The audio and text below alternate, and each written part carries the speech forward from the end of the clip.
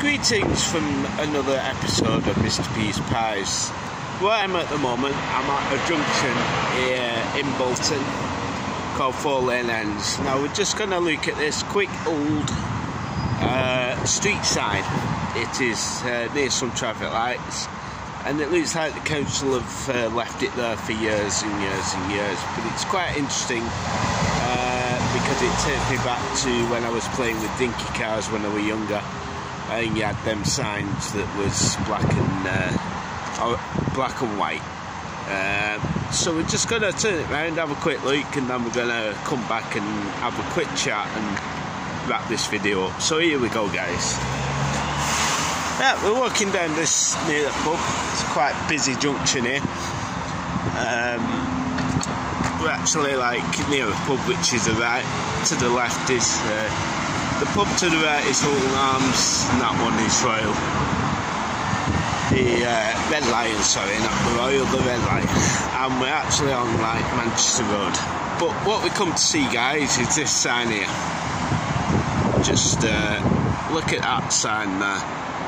That is an old, beautiful vintage sign. That that would have had uh, signs on the top saying um, to like Leigh, Wigan, Bolton and stuff like that on it. Obviously, it's a, it's a crossroads, but probably cobbled. But in the time that was up, it would have just been the sign, and you wouldn't have these traffic lights here. So anyway, we're going to go back to the old car park because you can hardly tell with the traffic what I'm saying. So, and then I'm going to turn it round and going to wrap this video up. Like I said, it's just a quick video, guys for you uh, another episode of Mr. B's Pies.